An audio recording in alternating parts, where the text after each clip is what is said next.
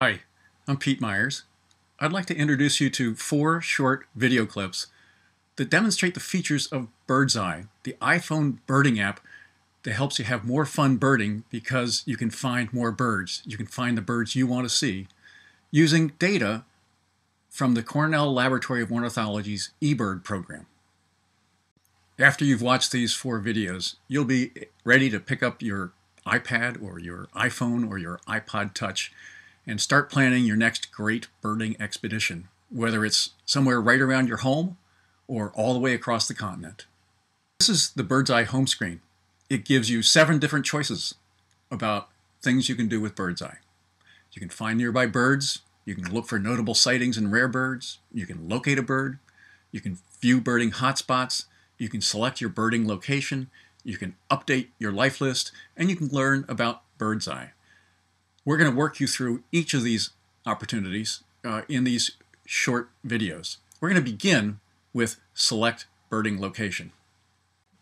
So let's tap on select birding location. You can see on this screen you have the opportunity to enter city, state, or zip. You can also choose from favorites that you've identified from past use. And you can also look at recent places that you visited. Let me show you how to use city and state. Here, we're going to enter McAllen.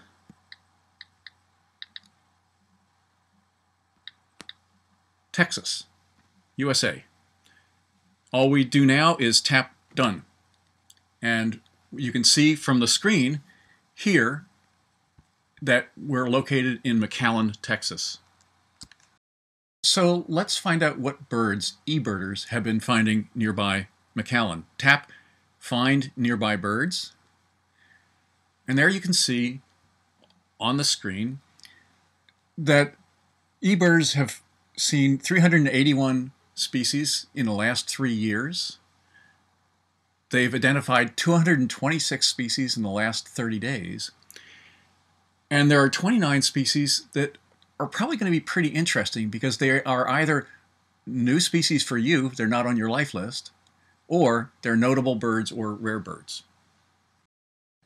The first thing to note is that you can scroll up and down this display to see the variety of species that have been reported in the McAllen area over the last couple of weeks.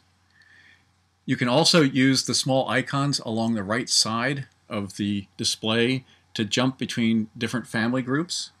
That's not particularly important when you're only looking at 29 species. But if you go back to the 226 recent sightings, you can see that the ability to jump uh, actually helps considerably in getting to just the species that you want to check. One thing to note here, you'll see beside green-tailed towhee a binocular icon also with spotted towhee. That denotes notable observations or rare species. So let's select a species to check out. I'm going to use the icons along the right to move to raptors and then scroll down. We could look at Harris's hawk or white-tailed hawk or zone-tailed hawk. Let's look at zone-tailed hawk.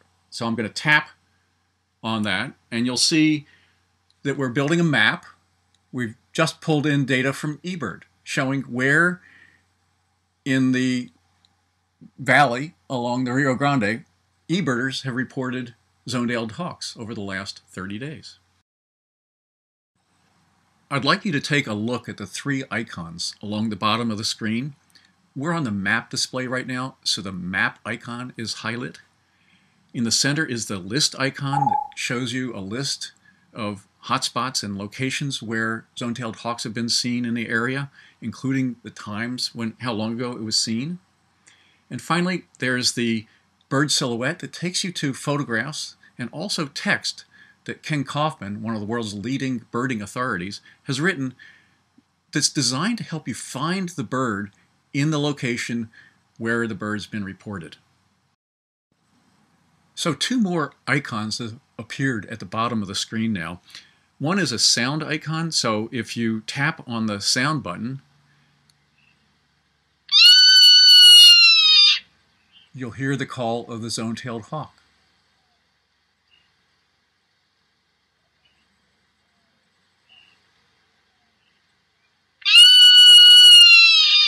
We have recordings from the Macaulay Library of Sound at the Cornell Laboratory of Ornithology from almost every species in the BirdsEye app. I'll hit done. And then you'll note also that there's a green check in the bottom left of the screen. That means that this bird is on my life list. So now let's go back to the map. I'm going to hit the map icon. I want to show you one last feature of this part of the app. So if I tap on one of the locations, a flag pops up and you'll see along the left there's an arrow. If you tap that arrow, it'll ask you if you want directions. Let's get directions. Remember we're located in McAllen, Texas. The map app pops up.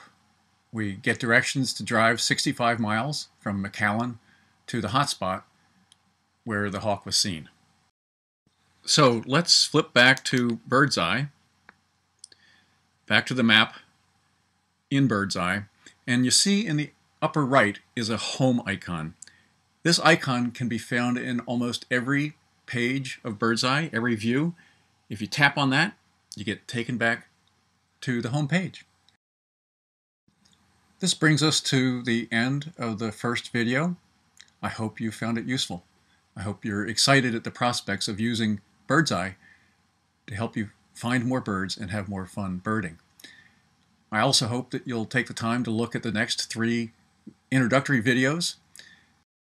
Please stay tuned. Over time, we'll be producing a steady stream of videos to help you get more out of BirdsEye, to find more birds, and have a great time birding.